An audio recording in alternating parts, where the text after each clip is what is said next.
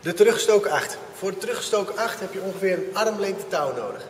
Als je die armlengte touw hebt, maak je een oog. Het resttouw gaat achter het oog langs, door het oog. Nu zie je hier al een enkele 8. Nou, deze moet teruggestoken zijn. Vervolgens haal je touw door je gordel.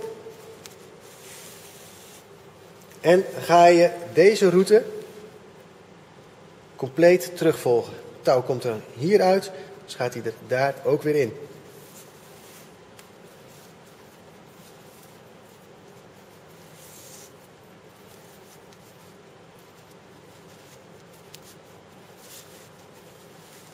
Nadat je acht hebt gelegd, trek je alle strengen even netjes aan.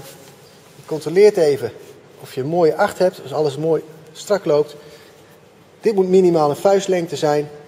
Deze lus moet niet te groot zijn en je hebt je teruggestoken 8.